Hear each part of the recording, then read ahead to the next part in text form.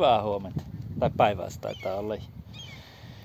Tultiin Marin kanssa tänne jo heti aamusta veneelle ja hommat jatkuu.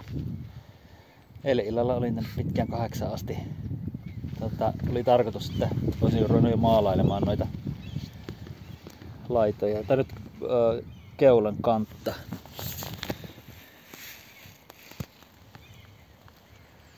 Noita harmaita osia, mutta olin täyttä ymmärrystä vailla jättänyt sitten teräsharjan kotiin. Niin eipä onnistunut.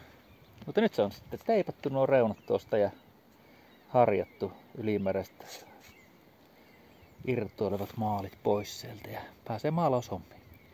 Maria on tuolla sisällä sisähommissa ja otetaan nuo ikkunan reunat.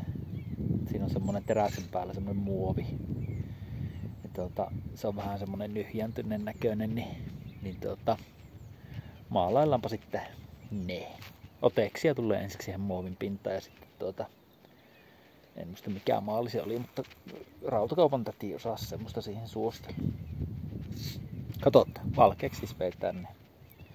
Näin, ei pitänyt olla mitään hommia, mutta näin se vaan on, että venneellä aina löytää jotain tekemistä. Aina, joka kevät. Mutta ei se mitään, tämä on mukavaa tekemistä. Uskokaa tai älkää.